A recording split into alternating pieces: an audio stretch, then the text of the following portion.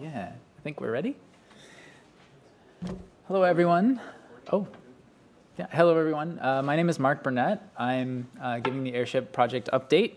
Um, as I guess many of you know, this project was uh, announced in Vancouver, or yeah, six months ago in Vancouver, I guess. Longer? Six months. Yeah, wow, time flies. Uh, so anyway, uh, let's just uh, jump right in. Um, so Airship is a declarative um, infrastructure deployment and lifecycle management tool. Um, this is something that um, uh, lets operators, you know, uh, have a lot of confidence when they're testing updates and large or multiple site deployments, and be confident when they're rolling things out that they that they have tested a smaller version of the site with the exact same configuration and things like that. Um, that's one of the big advantages that you get from a declarative approach. Um, yeah, so we started this project um, in 2017, um, sort of on the back of OpenStack Helm, which uh, has has been you know really useful for us for updating OpenStack and stuff and stuff. Um, but we wanted a declarative platform for also managing the lifecycle of the whole cluster, not just the OpenStack portion of it. Um, so it was announced last May as a pilot project, and um, we've been in the OpenStack community since then, trying to improve things and iterate um, and grow and grow out the missing components that we have. Um, so the current state of Airship, where we are today, what exists is that it has a, a pretty good resiliency profile. Um, there are some areas that we know we want to improve, but um, it's designed not just for like single node down resiliency, but in particular, we want to build it in a direction where if you lose external connectivity for the site, that you can still do basic maintenance tasks on the site. Uh, everything is self-hosted on the site that's managing the lifecycle. So you can do fixes even with limited connectivity, sometimes an issue. Um, we've made a number of security improvements over the last few months that are significant. Um, uh, we think it's got a reasonable, reasonably scalable operational profile. I'm sure there's improvement there. We haven't deployed very large sites with it yet. Um, but we definitely see the repeatable multi-site deploys. We do that day in, day out. We're redeploying test labs, uh, updating them and so forth, um, predictable upgrades. Um, and so we have one deployment model for all of our software. This is one of the fundamental things that we do. Uh, almost everything in the platform is driven from uh, containers and Helm charts. So um, this is the trade-off we've chosen to make. You can imagine layered approaches and so forth, but this is the direction uh, that this project is sticking with uh, as sort of a fundamental choice at this time. As, as much as we can, we're sticking to that model. So a single deployment tool for all software um, which means a lightweight host image at this time, and then containers for everything, including like libvirt and OpenStack Helm and so on. So pretty much all in on that approach, if that makes sense. Um, and we do now have a gated reference configuration in Airship Treasure Map, which is um, primarily a project filled with uh, re this reference configuration, but it also has some general project documentation, um, some CI/CD that's used to test out that configuration and so forth. It's really meant to be a sort of uh, second step starting point um, where you can say, okay, I get the basic idea. I want to see a realistic example. We have a smaller example in Airship in a bottle that's like a single VM kind of deployment, very simple. Um, this is meant to be next steps. Okay, if I really want to deploy this in a test lab, what do I look at? This is our this is our best answer to that right now. So we have that. It's gated. Um, there's a nightly job that tries to automatically update the versions of all the components in it from master, uh, latest images, latest charts, including OpenStack Helm. Um, and so that's, that's been going pretty well. Uh, additionally, uh, we have tagged a release for November. November 1st is our first uh, monthly, we hope to make it a monthly tagging process. Um, and that's, that's what I would say is our like 1.0 release candidate is that tagged version. So if you want something even a little bit more um, unchanging, a little bit more stable possibly, that, that tag is sort of a release candidate, but you should be able to reasonably look at master um, because it has been through a, a, a, full system test at that point. Um, any questions on the state of affairs or anything? Before? All right. Um, you may have seen this uh, on one of the keynotes. We just have some nice quotes here from people uh, either using or experimenting with um, airship. Um, I know, for example, Ericsson is starting to um, experiment with some vRAN applications on top of an airship deployment. I, uh, you know, SKT has been doing been doing some work with Armada in particular, um, and there are other, you know, other other companies and organizations doing work here. So that's exciting. And one of the, one of the things about this too, uh, one of the things about this too is that um, you know, as a release candidate, you uh, oftentimes that means not production ready, and that's not the distinction Yeah. that we draw. Um, it's more that a, it's it's production ready, but it takes some uh, domain expertise uh, today to to get started with it. Uh, you know, in terms of um, learning how to um, how to navigate and manipulate the manifests that drive uh, that drive the definition of the site. Um, it just takes a little bit more um, a little bit more uh, domain knowledge and and uh, digging in than we would prefer for someone to get started, and that's a lot of the stuff that we're targeting for oh. 1.0. Yeah, and I would say that those sorts of features are absolutely critical, and they're all sort of to the left of the site, right? The same sort of YAML configuration will end up being delivered to the site, drive the various components to do their work in the same declarative fashion. And really, the issue is how do you write that big, massive YAML? I, if anybody came to the deckhand talk yesterday morning, I mean, I think we have you know 40,000 lines of YAML basically. Um, that's not all site specific. A lot of it gets reused, but that's a large ask, right, for configuration. There's a lot of configuration. Um, so yeah. Um, so uh, to, to where we're going, um, some of the YAML, like site-specific stuff, is very easy to generate. A lot of it's just, okay, I know what the IP addresses for my site are going to be. Here you go. Um, things like that. And then there's some non-trivial things like discovery, uh, a discovery approach for this, where the, the thinking is, and there's no spec for this. If you have thoughts on this, uh, they're super welcome to like even just submit a spec or just talk in the mailing list or an IRC about it. Um, the thinking is that there will be a tool that goes and does discovery and generates documents that you would then commit. And the thinking there is that you want to have your Git repo track your intended state. And then Deckhand tracks it on the site side, what, what actual sets of config were delivered there. So you have the traceability on both ends. What is my history of intent and what is my history of actual delivered configuration and, and including annotations and so forth. So that's, that's the idea there. Um, but again, there's not a spec for discovery, and we'd really like to get that in. So uh, if, if people have thoughts and opinions, or yeah, it's super open. Um, uh, we're going to work on ironic integration. Um, we've been using MAAS. Uh, MAAS was sort of chosen. Um, I think it's fair to say it was chosen because it did all the sort of networking and storage configuration out of the box that we needed it to do. So we kind of grabbed it and started moving with it, if that makes sense. And it has proved to be quite awkward to operate in a containerized way. Um, we, I mean, it's also a bit of a resource hog in our experience, but um, I think the main obstacle or hurdle that we've hit is that it's actually just not really built to work in containers very well. And so, in particular, we would like to move to Ironic because we feel pretty strongly that it will operate better in a container environment. Um, so, so that's the idea. Remember, this whole platform is self-hosted. So inside the control plane, we're running MAAS, or if in the future, Ironic, right? And so that's how we're provisioning new nodes if you add them to the cluster, or re-provision nodes if you need to redeploy it, and so forth. So all has to work right there. So if you take down one of the control plane nodes, you want that MAAS or provisioning workload to move properly, and that doesn't always happen. Um, so, so that's that's the main motivation there. There, we, we hope there are some other benefits there, but that's that's the primary driver from our point of view. Um, I already talked about auto discovery, ties right into YAML generation. We do have sort of a prototype tool. Uh, what was it called? Tugboat?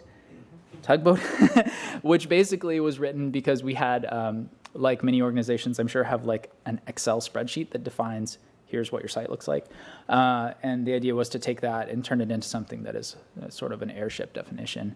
Um, so we want to do more generic tools in that in that vein. But and the, uh, yeah. the, the next step there too is um, uh, the, the plan is to uh, sort of formalize that, that proof of concept um, as a uh, sort of a pluggable interface that then uh, different operators can uh, pull their site definition from different sources so that if you have uh, you know a, an operator specific system of record that defines what your sites look like and what all the information for them would be uh, you could make a plugin uh, for this this uh, to be created tool that we're calling Yes. Spyglass that uh, would uh, would pull the um, pull your, your operator specific information in and turn it into the, the site definition. And then at that point, the proof of concept Excel based translator uh, would be adapted into um, a plugin uh, as well. And there's actually a draft spec up for this Spyglass tool. Um, they, there's an airship specs repo that we consolidate all of our various specs in, so that's the place to go look for, for that. Um, I don't know the reference offhand, but 605227 for the curious. Um, it's gone through a couple of iterations, uh, um, but and, and I'm sure more feedback is welcome. Um, another big item that we really want to get in is multi-OS support. Um, we've had uh, uh, we've, we've had a little bit of effort on this on the image front in particular, but um, there's more work to be done here. There's a few assumptions here and there about how how how things are done um, that need to be generalized. There's definitely some assumptions in Promenade about Ubuntu right now. There's uh, maybe it's unfair to say that there are assumptions in the way we're using MAAS, but certainly we need to be more general in the way we're using MAAS at least. Um, but also the move to Ironic will, will help facilitate that as well. Um, but also SUSE support is is uh, is in the roadmap. Um, they've offered to help work on that. Um, so there's there's work in a few components here. Um, it's not it's unfortunately not isolated to just installing the operating system. Uh, so there's a few bits of, of work to do there. Yeah. Any questions about where we're going? But what was uh, today? What do you mean? What is supported and what is being worked on? Today, the only thing that's actually supported is Ubuntu 16.04. Yeah. 16. Yeah, So, so far. Um, plans for 18? Absolutely, absolutely.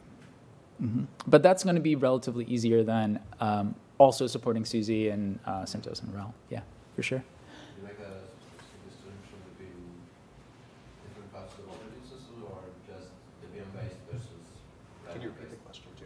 I'm sorry. The, the original question was be specific about what we're supporting. So that's Ubuntu 16.04, and then and then I actually didn't quite hear all of the. If, um, It- is there a specific dependency or a specific, uh, I don't know, approach that's limited to Debian derivatives There's there's some you know relatively like quick and dirty kinds of package installations that are literally just hard coded to apt get you know install and stuff like that that need to be generalized. Um, but yeah, absolutely, it's on the roadmap to support more than just Debian based. Yeah, that's right. Thanks. Any other questions? Okay. Um, so so far we have a few integrations. I've mentioned OpenStack Helm a couple of times. Uh, we we sort of make a, a, mix of heavy use and heavy support for this for this project um, because we're running uh, OpenStack Helm on top of it. Um, but we also leverage like the Barbican chart, the Keystone chart. You know, we leverage the Helm toolkit in some ways, and, uh, and so on. Um, we're affiliated with the Akraino project, which um, is I think there's only one sort of currently actively merged blueprint for the Akraino project. Uh, for those of you who don't know, Akraino is a, a project under the Linux Foundation that is looking to provide a, a sort of set of codified references for various types of edge deployments. Um, and so airship-based, OpenStack Helm-based deployment is the first blueprint in their toolbook or in their in their in their kit for that. Um, I expect they'll continue to refine these, and I know that they're working with StarlingX closely as well as a major part of their of their toolkit. Um, but yeah, so Akraino, um, we use Barbican as a, specifically via Deckhand. Um, so that's where we do our, our secret storage, uh, sort of obviously. Um, we're making use of Oslo specifically for Oslo policy, but also I think a couple of other bits here and there. Um, and of course, we're using Keystone for auth everywhere today. Um, we're actually working now to integrate uh, Keystone auth via webhook into the Kubernetes API for our operators to use um, to control that access. Um, right now, we just don't give them access, or uh, you know, higher tier support would get the admin key basically for Kubernetes, which isn't ideal. So um, that's the direction we're moving with Keystone. Otherwise, that's a fairly simple um, integration for us because it's just application level and also OpenStack level. So those are our main, I'd say, integrations. Is that fair? Yeah. Yeah. Um, yeah, so welcome to come get involved. Um, we have a project onboarding later today, um, just down the hall, I guess. Uh, and uh, yeah, we're on Airship It on Freenode, and we have weekly meetings. They're currently at 2 o'clock in Airship It. Um, and there's a is it is a weekly call and then it flips the there's a time that flips there's a, like a phone call that one of our colleagues Rodolfo hosts um, but the time for that changes to to accommodate um, collab- collaborators in Asia and in Europe and we're ba- based in the U.S. So the eas- do we have the link to the wiki up there? there's a link to the wiki. The, the wiki is probably the, Yes. uh, the easiest place to go grab the times for these different meetings from. We keep that up to date. Yes, that is correct. Um, and then there's a there's a link here to Airship Treasure Map, um, just for you to browse a, a complicated but realistic configuration set that includes like a full OpenStack deployment with Ceph, and I think it's what eight eight nodes or six node deployment. It's it's at least six nodes, so it's four control plane nodes and then two or four computes. I forget what, on on pretty realistic modern hardware that we test nightly. So, I'll leave the, this up for Q and A. So if anybody has any more questions, I know we had some throughout. Any questions? One question here. Uh, I remember in previous discussion, you generate during the deployment a Genesis node, and, and uh, are you already able to remove it, so you stay with three control planes in the end? Uh, wonderful question. So the, the current situation, uh, or the past situation, basically is that so the system you, you you deploy a Genesis node with minimal configuration, and then you run um, sort of our bootstrapping script on there called Genesis.sh. That that creates a fully functional containerized single node control plane for Airship that you can then use to provision the rest of the system. Um, then the intent is that you will then use that same system to redeploy that node. MAAS is one of the major limitations, or rather, the way that we've been using MAAS in a containerized fashion has not facilitated reprovisioning that node the way we had hoped. Um, I know that uh, one of our cores, Scott Hussey, has worked a lot on making that work and, and been working with Canonical to, to move to a different paradigm that should support it better. Um, I think he's very close on that work, but that is absolutely a blocker to truly reprovisioning that node. Um, aside from that blocking issue, which is either maybe been resolved in the last two weeks or will be resolved in hopefully the next month, somewhere in that timeline, um, there's probably a little bit of additional work that's not not probably too scary, um, and that there's already a documented plan for to make sure that we expose this host redeployment API all the way up through Shipyard. Um, but that work is very clear cut and not risky. It just needs to be finished, basically. But it sort of hasn't been prioritized because it was blocked basically on this uh, this MAAS. Dependency. visible in the first release. I'd say that's essential for the actual first release because it's I mean it's fundamental to the platform that you don't have this variance. And if and if instead what you have is, well, the site is declared this way except for this, that's not ideal, right? Um, and eventually, in the in the I would say medium to long term, we'd like to support a concept of a region controller that deploys that initial node via WAN booting or something and provisions it from the declaration so that you're in the beginning declaring that node in a meaningful way, not later on.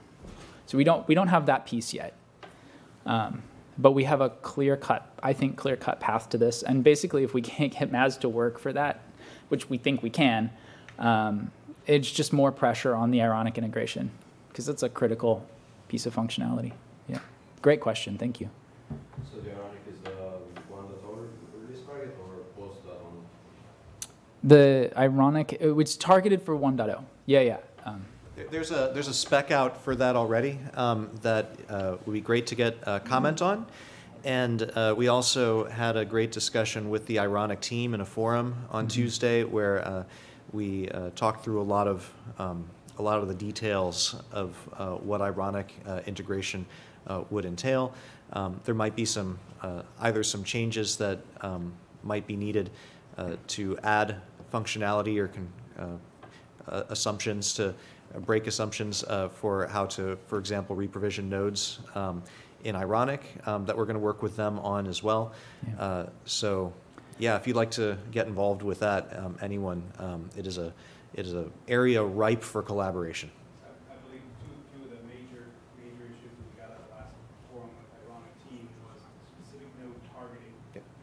And also being able to treat Ironic instead of a, a bare metal as a service type thing, we want to interact with it from an administrative perspective. So Right. We wanna, we wanna talk to Ironic and control the BIOS settings dynamically every time we are reprovisioning the node in a different role or things like that. And normally these things are kept hidden from the end users who are getting bare metal as a service. from Those are the- probably the two big things. I- In case anyone didn't, didn't hear that, or for the, the sake of the recording, the, the two things that um, we're going to be working with the Ironic team uh, uh, toward making sure um, are sort of satisfied um, are, uh, one, the ability to uh, target specific nodes for provisioning or reprovisioning, rather than just treating the, uh, the pool of infrastructure as a, as a pool. Um, And uh, second is, uh, oh, brain fart, what was the? the But administrative Oh, functionality, the- the like- administrative functionality, like yeah, yeah. changing BIOS settings and so on. Yeah,